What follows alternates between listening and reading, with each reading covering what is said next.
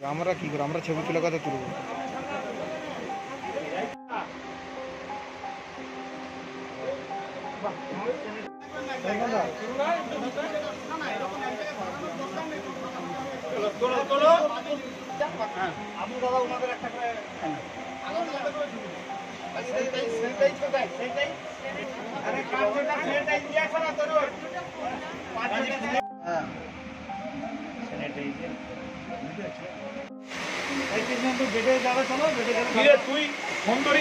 আমাদের বিধায়ক শ্রীমতী গীতা ভূঁইয়ার উদ্যোগে পঞ্চায়েত সমিতি এবং আমাদের মূলত যুব তৃণমূল কংগ্রেসের সভাপতি আবু কালাম বক্স, তিনি আমাকে বললেন যে একটা রক্তদান শিবির করা দরকার।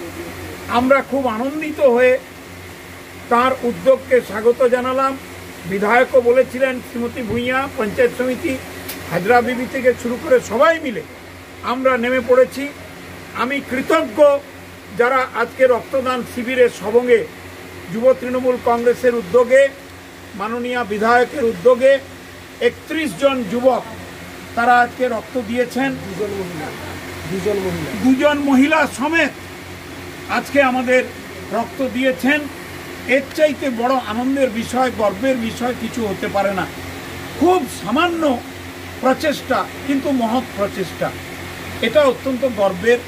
এবং আমি আবেদন করব, আমাদের জেলায় প্রতিটা ব্লকে এই রক্তদান শিবির যুব তৃণমূলের কর্মীরা যদি করেন, এতে করে একটা মানুষের চিকিৎসা, কারণ রক্ত দরকার হলে রক্ত দিতে হবে। জল দিয়ে তো তা মেটানো যায় না। রক্তের বদলে রক্ত দিতে হবে। তো সবংয়ের যুবক, যুবতীদের আমি কৃতজ্ঞতার সঙ্গে ধন্যবাদ জানাচ্ছি।